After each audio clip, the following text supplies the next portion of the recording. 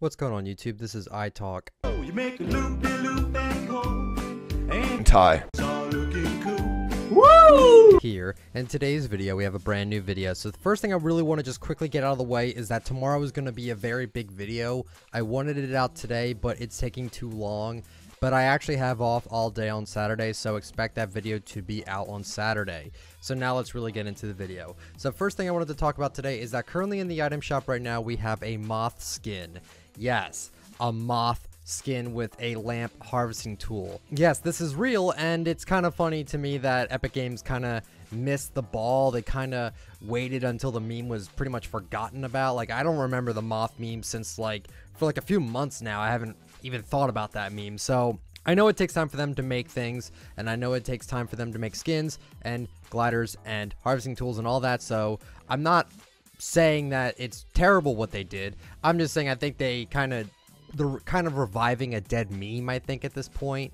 But I think the skin is amazing and the lamp is dope as well. So if you want to get them in the item shop, would highly recommend you get them now because they will be gone by Saturday night.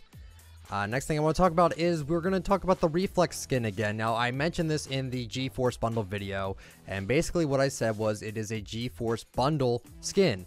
And what you actually have to do to get this skin is that you actually have to pay money for a brand new graphics card, which would be a 1060, a 1060 Ti, or a 1070. And it sucks because I actually have a graphics card that's better than all three of those. So it's kind of frustrating that this bundle is only for those that have really shitty PCs and we're all of a sudden planning on upgrading their graphics card. So I think it's really shitty. Hopefully we can get this skin on CD keys. We'll have to wait and see if that is the case. Because if that is the case, I will definitely let you guys know so you don't have to worry about buying a brand new graphics card for your PC just to get a skin.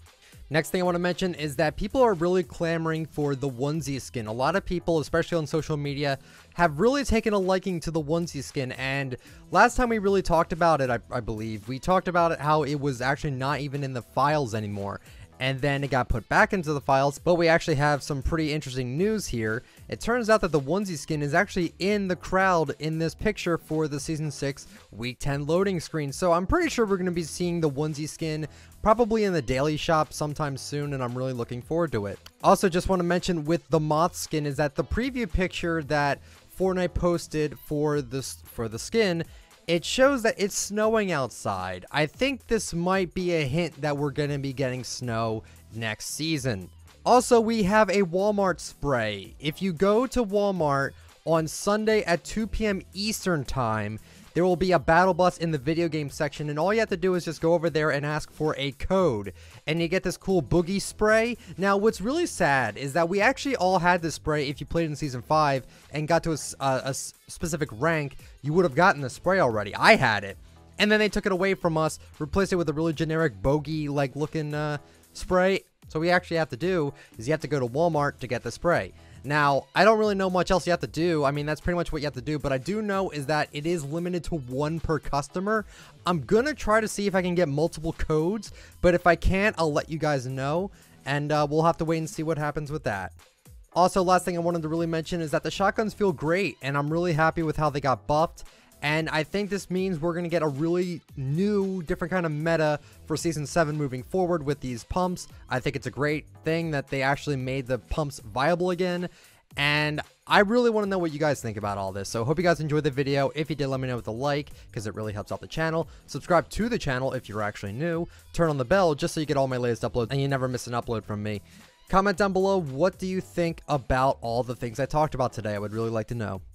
You could follow me on Twitter at iTalkFortnite. You can join my Discord, as well as if you want to use me for Support a Creator, just use the word iTalkFortnite in the Support a Creator tab. Have a good one, guys. See ya.